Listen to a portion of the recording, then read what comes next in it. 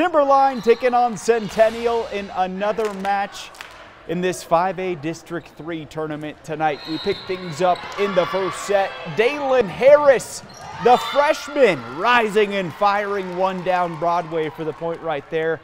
Back come the Wolves. This is Whitley Walsh, also a freshman. Nice strike right there. And then a little bit later on, Piper Davis and Ella Apple teaming up with the combo block as Timberline rallies back to take the first set. We move to the second.